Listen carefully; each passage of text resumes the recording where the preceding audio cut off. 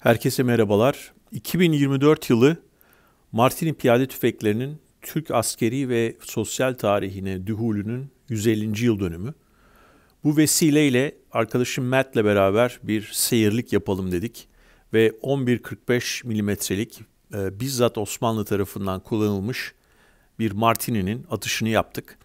E, işin büyük çoğunluğunu arkadaşım Matt yaptı. Bunun başında mühimmat temini, üretimi, e, araştırması vesaire geliyor.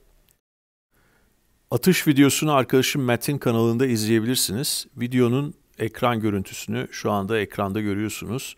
Aşağıya linkini de bırakırım yorumlara. E, hoşunuza giderse bir de favlarsanız Matt'i çok memnun edersiniz. Bir de kısa bir videodan parçayı da buraya koyayım ve de herkese iyi günler dileyeyim.